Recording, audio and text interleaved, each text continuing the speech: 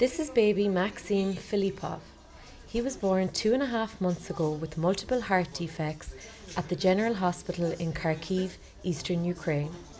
His family desperately need life saving surgery for him. My child is very ill. He's getting weaker every day and is fighting for his life. I live in hope for help and I'm extremely worried about his future. No mother would wish to see her child in such a condition. That's why I'm living with hope that the surgery my child needs will be done and he will recover, that he will get the help he so badly needs.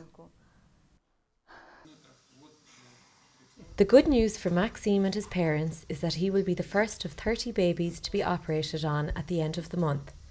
This is thanks to Adi Roche's Chernobyl Children International and the Irish people who have raised enough funds for these life saving operations to take place. It's a miracle. It's absolutely unbelievable that so small island has a so big heart. You have given the chance for these children to survive. I'm so happy that international cardiac surgery team is coming and we will be able to save as many children as we can. Thank you so much to people of Ireland.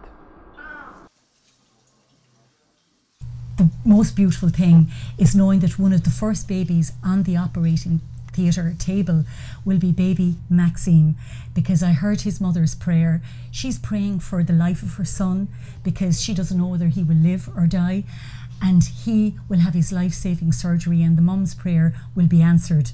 We might be cash poor in Ireland, but we're people rich. Our generosity in our hearts and in our souls knows no boundaries, and this is just another manifestation of that wonderful passion for life that we have and our ability to transform that into our compassion for our fellow human beings. And in this case, it's Eastern Ukraine that message of love, of solidarity, of saying that you're not alone, that's a powerful message to give. And it's a great way to start our new year.